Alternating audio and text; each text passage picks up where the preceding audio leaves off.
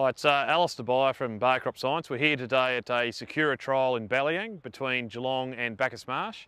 First of all, we'll have a look at the untreated plot where we've got a very heavy population of annual ryegrass in the Bolac wheat. Um, annual ryegrass is a big problem in this area and this would be yield detrimental for this wheat crop. And you can see the annual ryegrass here and the very heavy populations.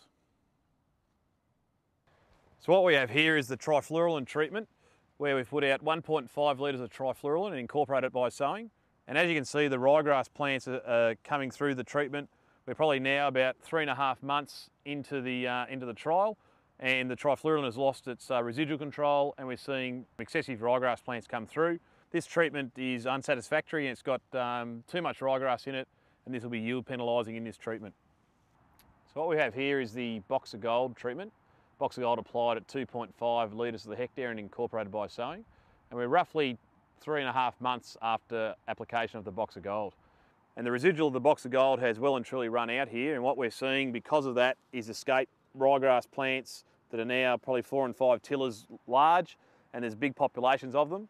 So the Boxer Gold treatment here is um, not as good as the Sakura and ryegrass population is getting away. So what we've got here is the Sakura treatment. So it's applied at 118 grams to the hectare, which is the label rate, and incorporated by sowing with knife points and press wheels. And this is three and a half months after application. So still very, very good ryegrass control. We are starting to get, just starting to get the emergence of some small ryegrass, but as you can see on the ryegrass tips, the ryegrass is taking up the Sakura through the roots, and the visual effect you see is that tipping and that ryegrass plant there will die. And there's another one just here that's showing very similar symptoms. So all in all, an excellent, an excellent result from the Sakura and the farmer's very happy with this treatment. I think it being very useful within the cereals. It just break up that uh, chemical rotation, not having to be so reliant on your group A's and B's, and uh, obviously that's becoming a big problem with the resistance in ryegrass. And if Sakura can break that uh, that rotation, I think that'll be an excellent fit. Yeah, Sakura, looking at it today, it's uh, providing a really good resistance management tool for farmers. It's uh, providing good control of ryegrass and offering an opportunity to get uh, control of ryegrass where by itself trifluralin would struggle. So it's a great opportunity for farmers to get resistance management tools in their belt and using them well in the paddock.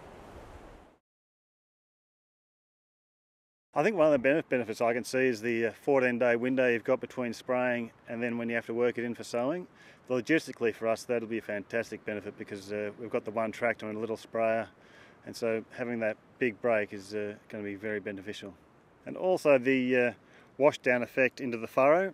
As with Treflan it just sort of sits, gets quite tied up on particularly straw or other residue within the crop in the ground and uh, having that running back into the furrow will take care of the uh, ryegrass coming up and competing with the emergent seedlings.